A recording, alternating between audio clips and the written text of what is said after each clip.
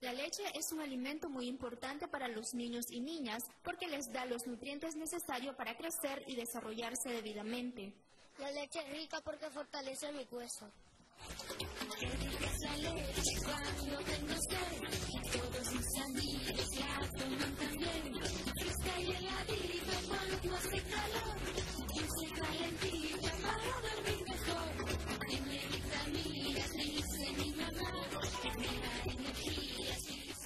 Nacional Ganadera, en coordinación con la Cámara Nicaragüense de Lácteos, realizaron el lanzamiento de la campaña Sí a la leche, los cuales, por medio de una capacitación, dieron a conocer la importancia del consumo de esta. Esta es una, una campaña que realmente la venimos haciendo con mucha frecuencia, tratando de este, a nuestros niños, que es el futuro de nuestra nación, tratar de ver cómo ellos cambian el comportamiento de su alimentación líquida, por lo menos, por eh, leche, que además es un producto que además de darle energía, los fortalece, y darles proteínas, pues realmente, es decir, están haciendo un papel importante de ellos consumiendo el producto leche y nosotros tenemos siempre en la Comisión Nacional Ganadera unos convenios con Farmer to Farmer que son personas que vienen a explicarles aquí a ver de qué manera y las ventajas de, de consumir leche y las desventajas de consumir estos productos.